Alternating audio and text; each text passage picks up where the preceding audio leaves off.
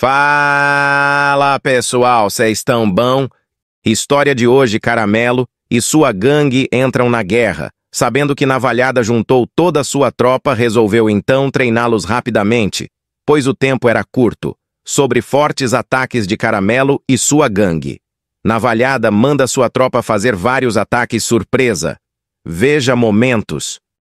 Vitor Ovelha não teve a mesma sorte, só teve lapada. Parece que os felinos não vieram para brincadeiras. Oliver Piruleta não deixou para trás e desferiu vários golpes em seu adversário. Biruleibe, faixa cinza em Mialtai, desfere-lhe vários golpes atravessados, vejas as cenas. Caramelo, por sua vez, reúne toda a sua tropa para uma reunião secreta, onde estavam planejando suas estratégias de combate. Não perca os próximos episódios e não deixe de seguir nossa página. Fala, pessoal, vocês estão bom? As coisas já começaram a esquentar para o lado do caramelo. Junim Bola de Pelo, o mais novo integrante da Gangue do Sul, já chegou como reforço de peso nessa guerra. Pedrim Pernamanca é mais um aliado da Gangue do Sul e promete ser osso duro de roer, pois suas habilidades são coisas de outro mundo, diz ele. Chiquim Primata tem ajudado Pincher Bull na sua terapia de ansiedade pois Pincherbu tem andado muito estressado com essa guerra instaurada com a gangue do Sul. Ryan Lutador. Já está tendo pesadelos com essa guerra, pois ele é o melhor amigo de Caramelo. Pantera Cor-de-Rosa e João Frangão chegaram para ajudar Caramelo nessa missão. Continue aqui com a gente, pois essa guerra instaurada está apenas no começo. Pois Caramelo já chegou com sua gangue e promete não ser nada fácil para seus Caramelo inimigos. Caramelo ataca novamente. Ele que tinha abandonado sua vida do crime, mas parece que ainda não foi dessa vez. Caramelo foi visto dessa vez no Rio de Janeiro tocando terror por onde passava. Pincher Bull, seu melhor aliado, estava tomando banho para se preparar para mais uma missão, pois a guerra entre as gangues do Sul estava prestes a começar. Pincher Bull já estava com sangue nos olhos, pois já não via a hora de ir para mais uma missão designada por seu chefe Caramelo. Alguns de sua gangue já estavam treinando duro na busca de afiar bem suas garras, pois nessa guerra ganhará quem estiver mais Não. afiado. Loendro Pé de Cana avista seu antigo rival Zezim Piruleta. Sem perder tempo, pediu para Caramelo avisar a toda a comunidade. Neguim Matador recebeu a mensagem e começaram a busca de carro. Chico Bafo de Onça ficou de tocaia enquanto Junim Pernamanca patrulhava a região. A gangue do caramelo se junta e diz que ninguém mexe com eles, pois mexeu com um, mexeu com todos. Aguinaldo pede para seu dono Pinga Doce para que o levasse na pracinha, onde seria o confronto. Tizil pegou o rasto.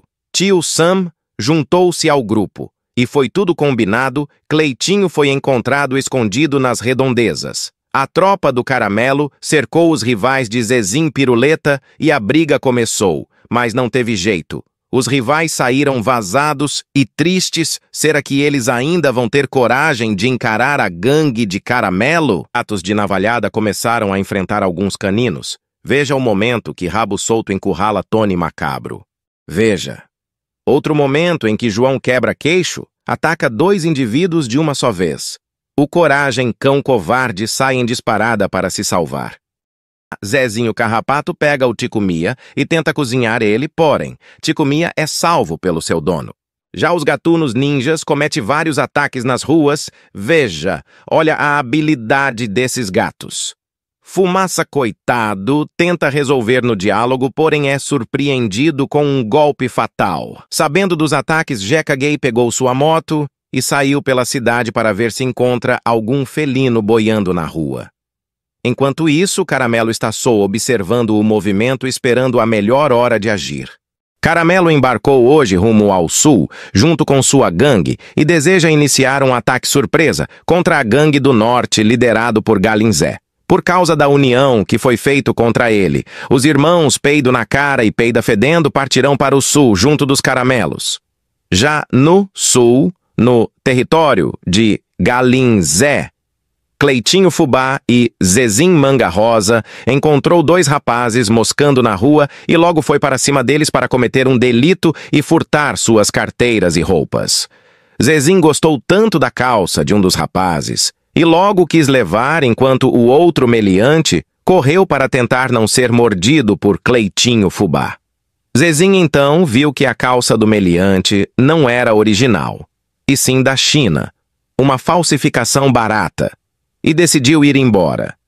Mas o que eles não sabiam era que ali perto estava Negão da 300 só, que ninguém o reconheceu.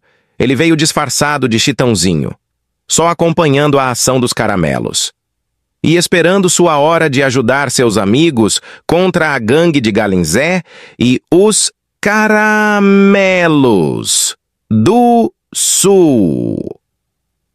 Após Caramelo ser preso novamente junto com Chico Tripa, Zezé Bago Solto organizou os manifestantes para pedir a soltura de Caramelo. Alguns manifestantes, liderados por Zé da Moca, fizeram uma manifestação pacífica deitando nas calçadas, impedindo as pessoas de passarem por ali. Já outra parte que acompanhou Zezé Bago solto atacaram pessoas que passavam nas ruas. Caramelo na cadeia ficou sabendo que um motoboy resolveu enfrentar Tony Macabro, seu capanga número um. Caramelo disse que isso não vai ficar assim. Será que com tudo isso o delegado Pata Preta irá soltar Caramelo para sair novamente? Caramelo está numa enrascada. Pegou dinheiro emprestado com o agiota El Cachorrão agora está sem como pagar a dívida, onde gastou todo o dinheiro na noitada com a cadelada. Um de seus amigos, o famoso cara de macaco, tem um plano arquitetado de roubar a casa de Juninho do Morro, um traficante perigoso. Uma missão difícil, mas não impossível. Cara de macaco chama logo seus aliados para ajudar nessa missão. João Equilibrista, que já está cansado de fazer acrobacias e quer mudar de vida. Caramelo, boxeador, campeão no peso pena. Já com todo o plano arquitetado, Caramelo, cara de macaco. E os demais se dirigem até a casa de Junim do Morro. Chegando lá, João Equilibrista entra com extrema facilidade, mas logo escutam uma conversa e todos se escondem. Vou te falar que a prisão do Caramelo episódios atrás não foi apenas uma azar, e sim uma denúncia anônima, Sabe quem fez isso? João Riso Frouxo. Foi quem entregou sua localização para a polícia. Capanga de confiança do primata Dedo Mindinho. Ele que comanda a maior gangue dos macacos já vista em todo o Brasil, diz que Tony, o macabro, foi quem denunciou caramelo à polícia. Dedo Mindinho teve que dar uma resposta rápida, temendo que esteja sendo grampeado pela polícia. Mindinho utilizou uns dos seus laranjas de sua gangue para comunicar Tony Macabro.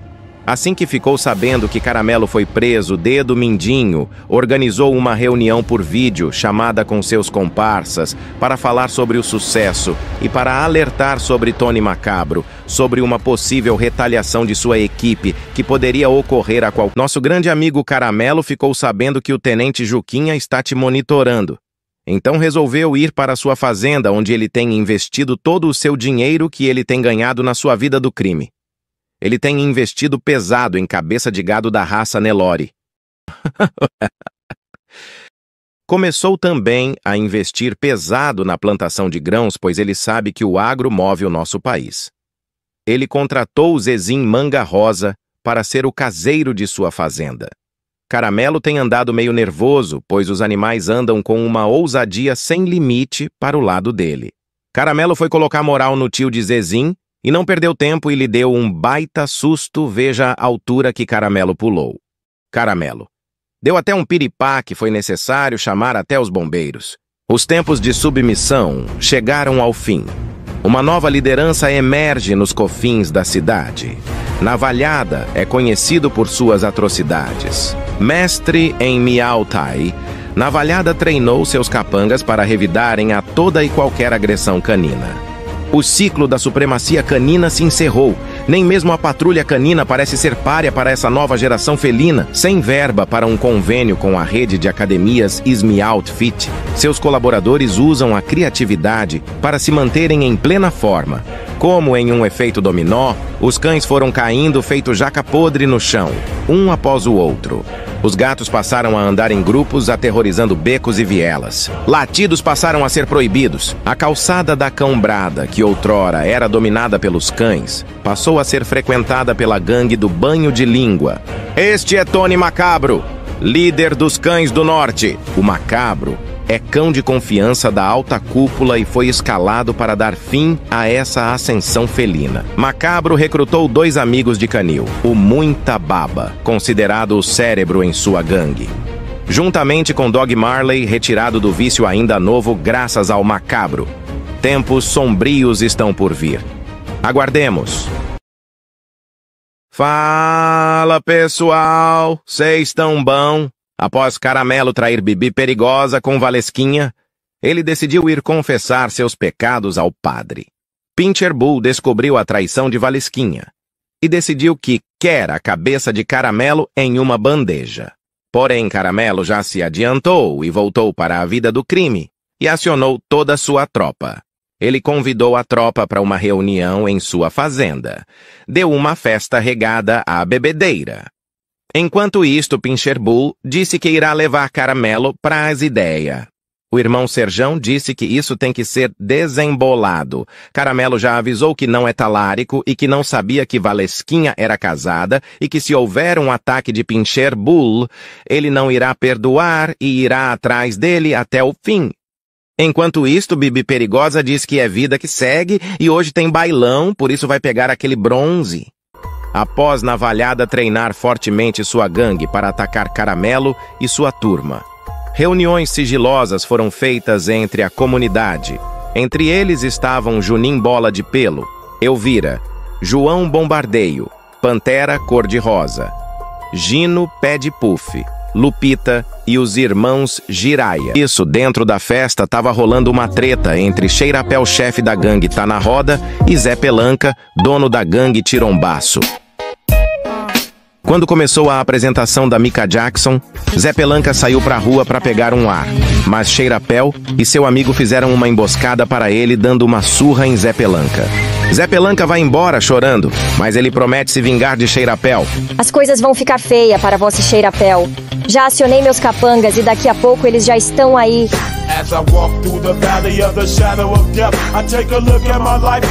Caramelo, por sua vez, se converteu e não quer mais encrenca está indo na igreja onde agora é regente no ministério de louvor? Será mesmo que Caramelo se converteu e largou sua vida do crime e brigas? Veja nos próximos episódios desse adorável cachorro. O ataque surpresa da gangue de Navalhada a aliados de Caramelo. Navalhada então resolve treinar pesado seus comparsas. Esse é Juninho Quebra-Ossos, Veja como ele está treinando pesado com suas habilidades com os pés e as mãos.